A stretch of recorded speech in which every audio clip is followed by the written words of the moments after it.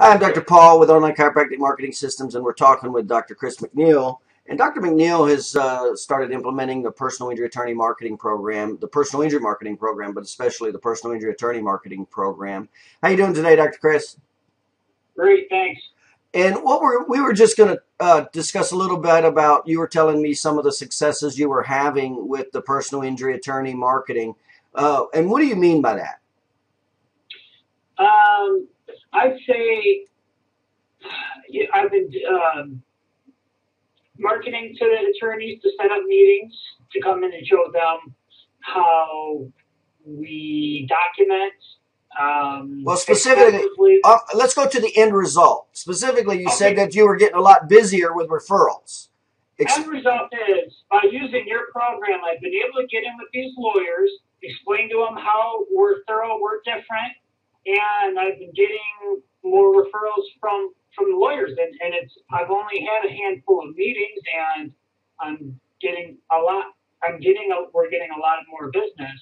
Um, that's pretty much plain and simple. now, when you say a lot, if you don't, I mean, if you, when you say a lot of business, a lot more business, what does that mean?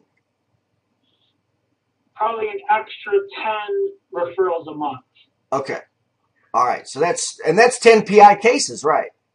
10 PI cases, extra 10 PI cases a month just from a couple attorneys.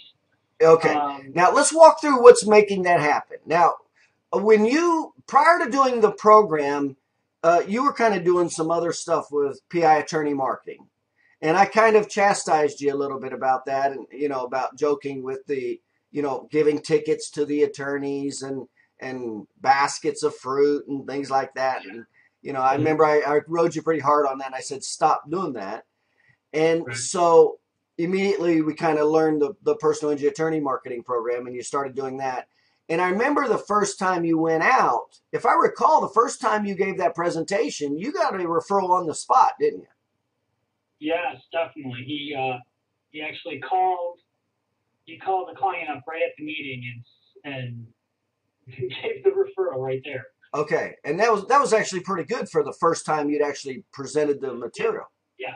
It's it's better now.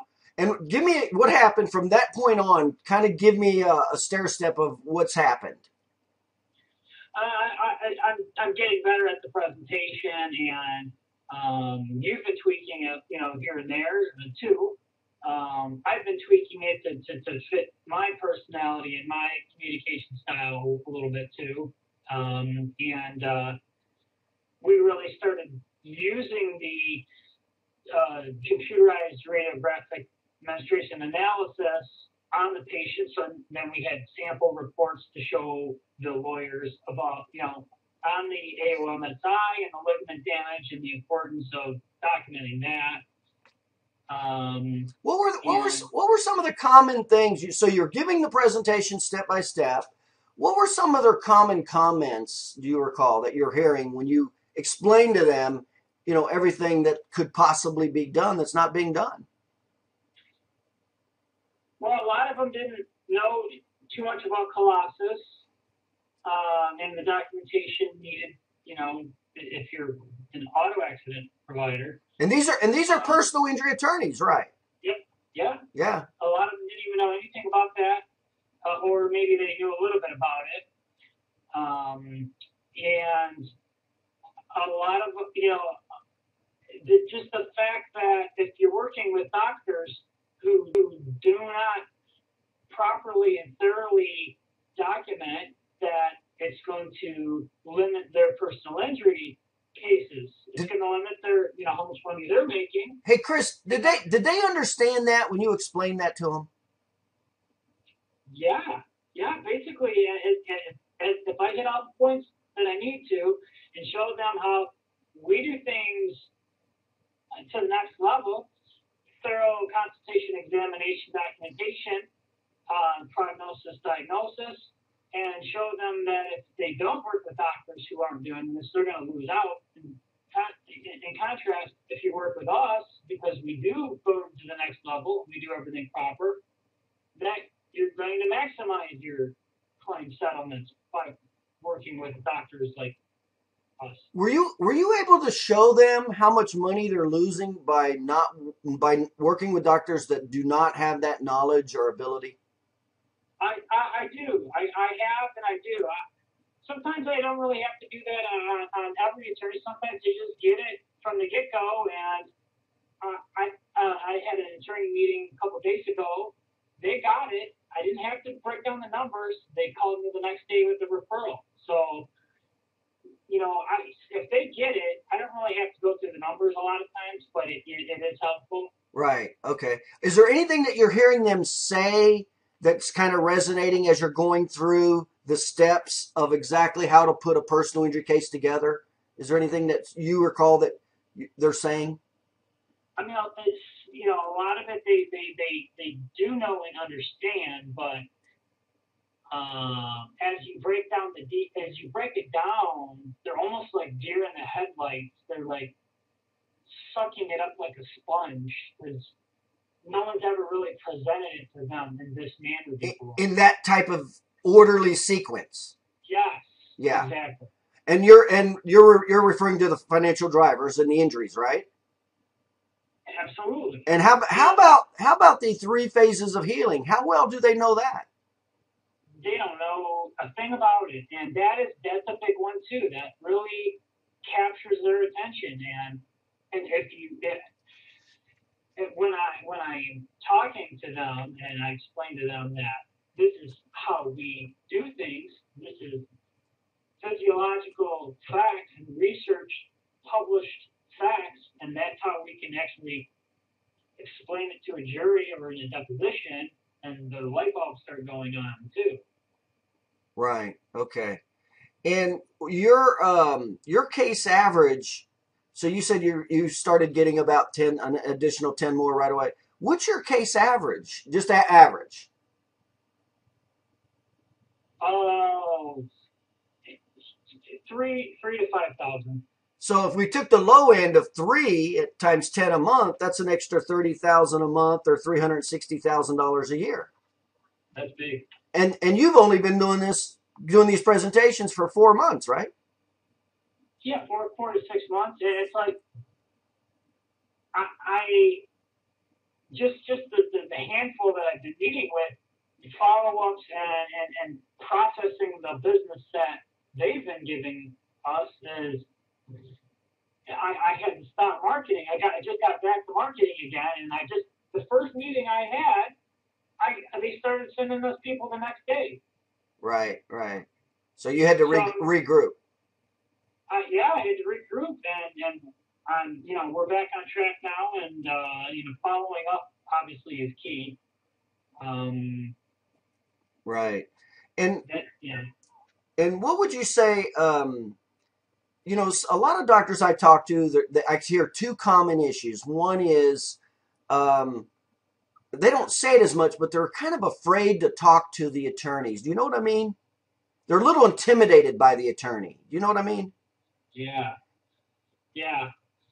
I mean, fortunately, I don't have that problem, but they're just like you and I.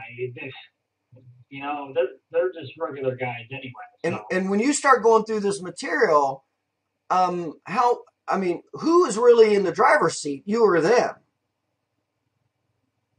I definitely am because they don't have a clue about any of this stuff typically. Right. Yeah. What would you have to say? Another common uh, comment that I get is is doctors say, "Well, I don't have time," and you're, or I've even heard doctors say, "Well, I'm married." Well, you're married. You're married. You have kids. Matter of fact, you have three offices and more than one or two employees, and you're finding time to talk to attorneys. So, what would you have to say to the doctors that say, "Well, I don't have time. I'm married. I'm busy." It's you know, you just I just make a slot, a couple slots every week at lunchtime to schedule meetings, and I and I just run out and do a meeting and get back to whatever else I'm doing. Okay. All right. So, Any. You know. Yeah. I just I have a certain time slot every week that I I have available for meetings with lawyers and medical doctors, and my staff you know, we do the marketing program, the you know, publicity, advertising, and then the staff sets up the appointments, and I and I I go do my thing, and then we got to follow up, of course. And what would you say to any uh, doctors who are watching this that are considering maybe using my personal injury marketing program? I'd say go for it. It's you know you, you got you gotta you gotta learn it and put put in some time, but it's it's paying off big time. Right. And how how difficult was it really? It's not difficult. It's it's information that I didn't even know really. And you were pretty I, active. I knew it. I, I, I knew it somewhat, but like the, the uh, AOMSI and the CRMA stuff, I had no clue about. I didn't realize the importance of you know documenting the ligament damage, and that's definitely a good angle. And and then all of your systems about uh, psychographic, geographic barriers, um, you know, things like that. That's something I, I didn't know about, but it's not that hard. It's just something you got to learn, and and you're you, present it repetitively, and it and it gets into into the gets into the brain pretty good. How about the difference in the knowledge of you what you now know and how to use sales versus advertising with personal injury attorneys? Yes, that's you know capturing the emotions and the fear of loss. Could you could you have done that if you would not have if you would not have been taught educational sales like we taught you? No, because bringing over some pizzas.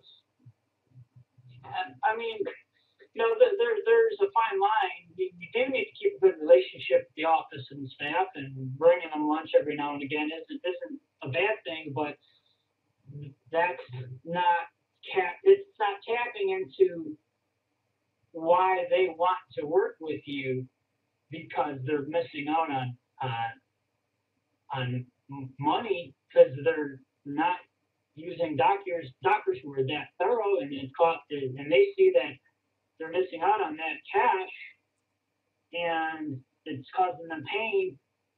Not to mention we're we, you know we emphasize the patients first. We want to do everything for the patient. Well, you're Um, you're moving pretty fast here. You've only been doing this about four months. You're getting an extra 10 PI cases a month. Um, what are your future plans now? It looks like things are moving pretty fast. Uh, I'm gonna probably get an extra twenty a month. Maybe open another clinic. Yeah. All right. Well, Chris, Dr. Chris, I certainly appreciate your time. Thanks, Doc. Okay, you take care.